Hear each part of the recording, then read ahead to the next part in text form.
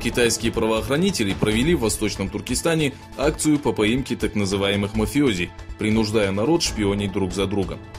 По сообщениям Туркестан Таймс, местное управление 11 района поселка Базар-Бостан близ Тарымской долины заставили жителей писать доносы на своих соседей, которые ранее отращивали бороду, имели коврики для молитвы, совершали намаз, читали религиозную литературу и принимали участие в незаконных религиозных мероприятиях, таких как празднование Дня Разговения и Курбан-Байрам.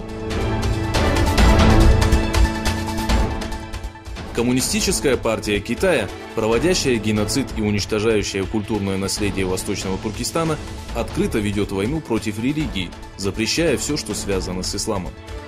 В сообщении Биттер Винтер указывается, что исламские символы и надпись «Халяль» на вывесках ресторанов и продукции, принадлежащих дунганам, проживающим в провинциях Нингшия, Кянсу и Сычуань, была запрещена властями Китайской Народной Республики.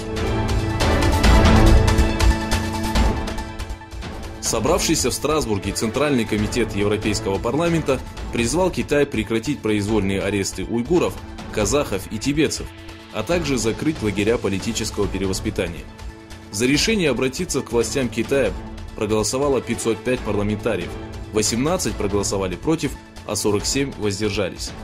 Наряду с этим правительства некоторых стран – большое количество общественных организаций и объединений строго осудили политику Китая в отношении уйгуров. Министр юстиции США Уильям Барр и спецпрокурор Роберт Мюллер заявили, что доказательств о скрытом сотрудничестве Трампа и его избирательной кампании с Россией не найдено.